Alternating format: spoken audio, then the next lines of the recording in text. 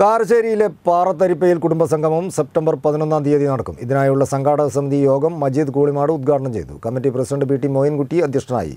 P T Abdul Kareem P P Kasim P T Sulaiman Usman Goya തുടങ്ങിയവർ യോഗത്തിൽ സംബന്ധിച്ചു.